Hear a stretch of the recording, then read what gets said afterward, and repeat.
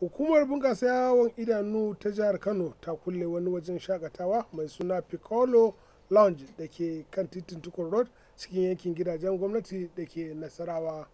Wajen daraktan hukumar alhaji abdullahi mu'azu shine sanar da hakan ga manema labarai jim kaɗan bayan da aka kulle gidan shakatawar da ke gudanar da aikace-aikacensa ba tare da sa halewar hukumar ba.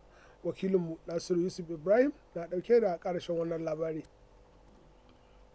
Tun da farko mazauna yankin tukur road da ke unguwar nasarawa gra ne suka kai korafin aikin badala da ake a fikala lounge ofishin hukumar bunƙasa yawon buɗe idanu ta jihar kano. Mutanen sun yi korafin cewa abubuwan da ake a wurin shakatawar ya saba wa koyarwar addinin musulunci da al'adun hausawa. Duba da haka ne hukumar bisa goyon bayan dakarun hizba da jami'an 'yan sanda suka kai samame wurin aka kuma rufe shi. Da yake yi wa manema labarai jawabi bayan da aka rufe wurin. Manajan daraktan hukumar bunƙasa yawon buɗe idanu ta jihar kano alhaji abdullahi ma'azu gwarzo ya ce bayan da ya karɓi ƙorafin sai da ya kai ziyarar sirri wurin inda ya ganewa idanunsa yadda samari da 'yan mata ke wanka tsirara a wani wurin wanka wanda ya ce ya saba wa addini da al'adar hausawa. Ya ce hukumar ta dakatar da yin komai a wurin shakatawar har sai an kawo gyara a wurin.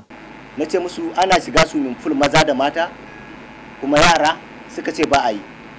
Na kira darakta na ya bani takarda wanda muke da kofi na pixel domin mun je mun yi bidiyo a gurin. Na nuna musu na ce wannan wani guri ne? Sun da amfi ne. Na ce wannan menene? Ya ce mace ce budurwa da saurayi. Na ce menene wannan? Swimming pool ne da mace da namiji a ciki. Na ce saboda haka all the evidences da suka tabbatar cewa kuna kare dokar jihar kano muna da su ba da kamiki abubuwa ba.